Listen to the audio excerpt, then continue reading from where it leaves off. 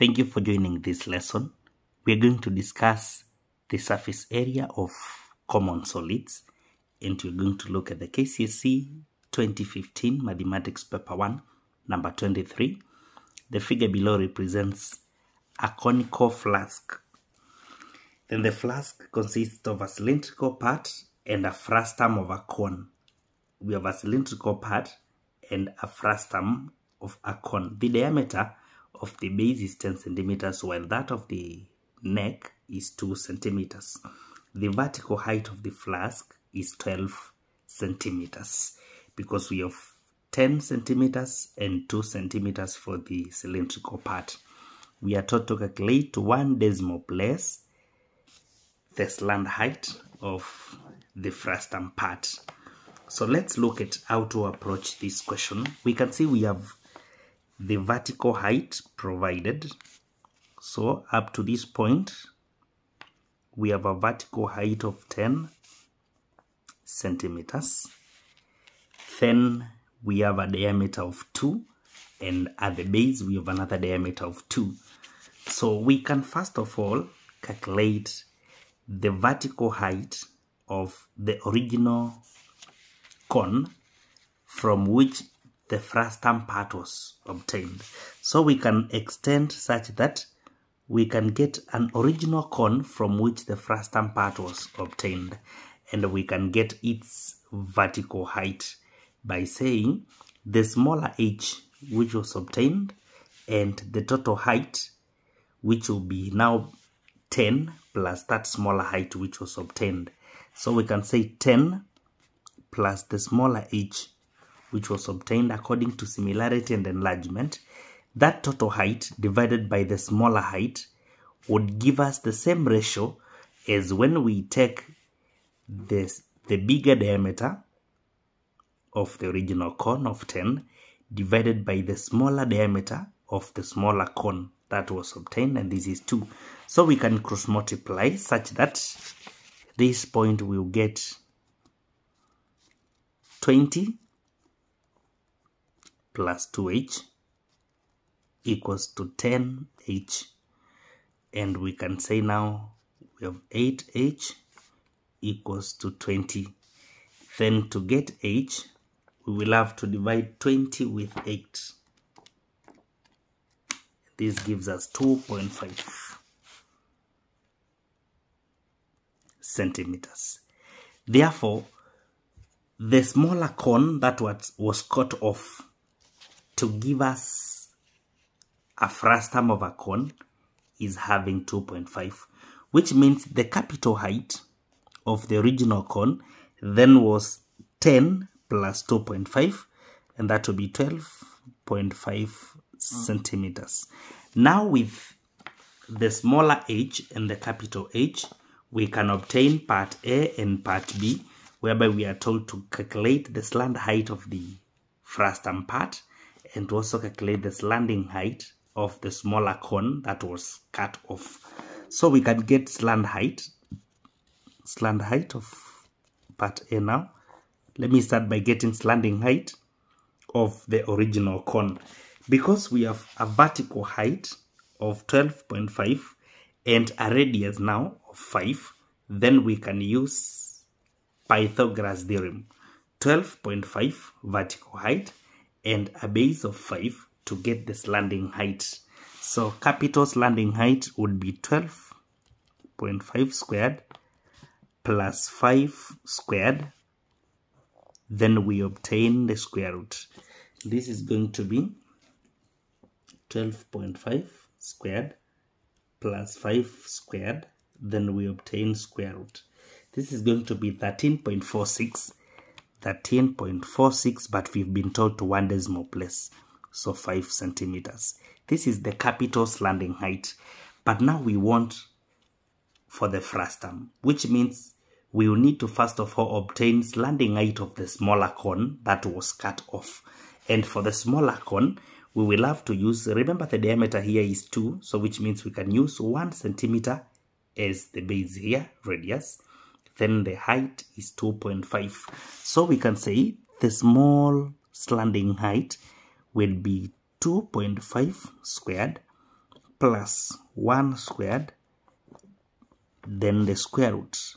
So we're going to have 2.5 squared plus 1 squared, then we take square root. This is going to be 2.69, 2.69, and instead of 69, we can have 0.7 centimeters to one decimal place. Therefore, this is the small slanting height, which means now part A, slanting height of the frustum. Slanting height of the frustum is going to be when we take the original slanting height and we subtract the small slanting height. This is going to give us, when we take 13.5 minus 2.7, this will give us 10.8 centimeters. Therefore, slanting height of the frustum will be 10.8. This is part A of the question and this one is part B of the question. Now after obtaining the slanting heights, we can proceed to solve part C, the external surface area of the flask. And the pi we will take is 3.142. So let's get to the calculation of the surface area now. The surface area external remember this is a flask so we have the top of the flask here so we don't have a surface here this is open but we have the base which is closed. So we have three surfaces here.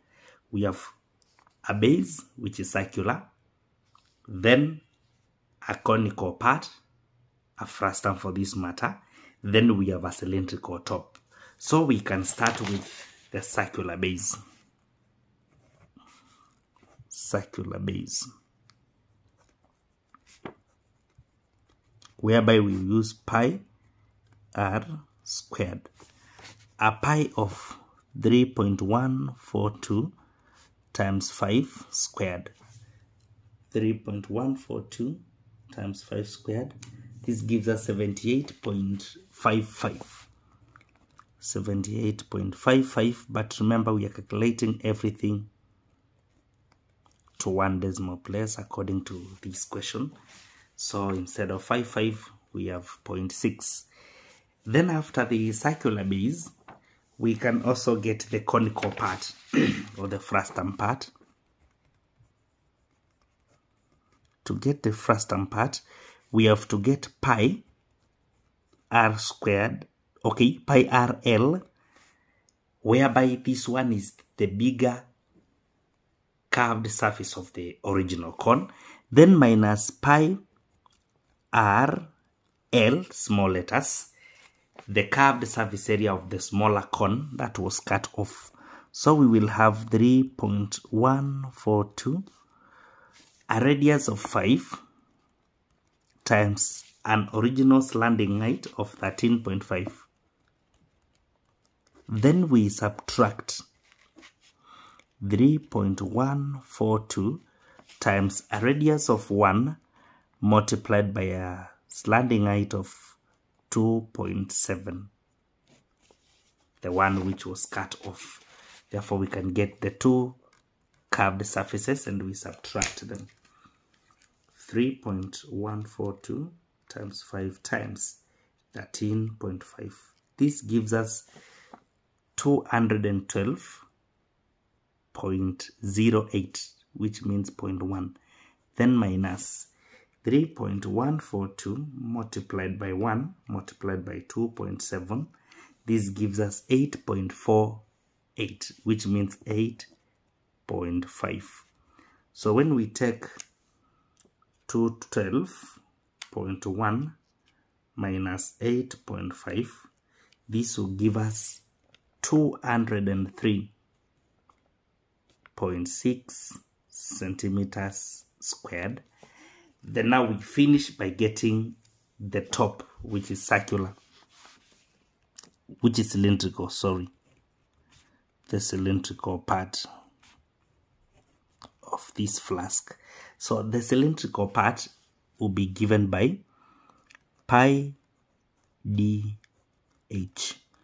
And we have a pi of 3.142 multiplied by a diameter of 2 and a height of 2 a height of 2 because we have a height of 2 and diameter of 2 so we're going to have 3.142 times 2 times 2 12.56 which means 12.6 centimeters squared. Then we obtain what we call total surface area which is going to be given by the first is base 78.6 plus the frustum part 203.6 plus the top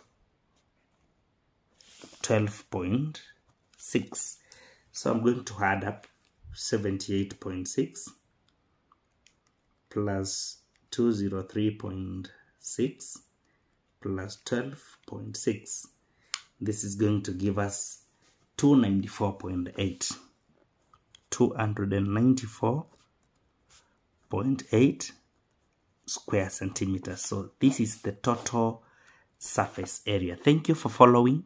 Subscribe and share